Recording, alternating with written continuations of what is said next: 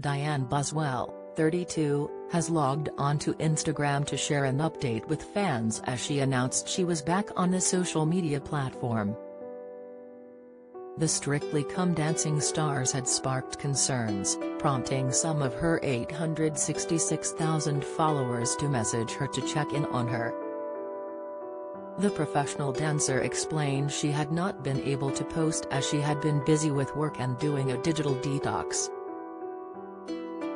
Sharing a selfie, Dianne Bend, she's back on the gram.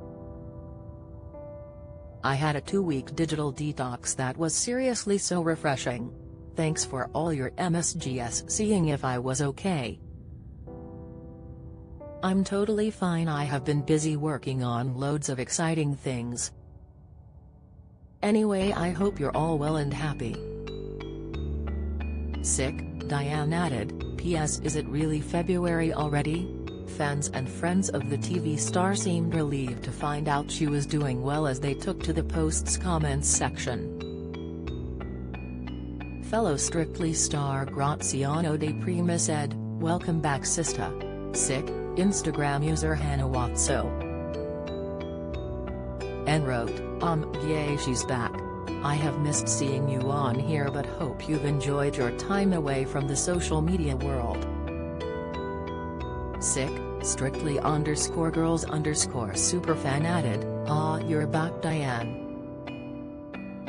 Glad you had a relaxing time away. Missed you so much. I can't wait to see what you've been up to. Team underscore Buswell stated, so pleased you're back. I've missed you so so much. Dianne's boyfriend, Joe Sugg simply commented a string of red love hearts. Diane and YouTuber Joe have been dating since they met on Strictly in 2018. They have since bought a house together. The couple moved into their first home together in February last year.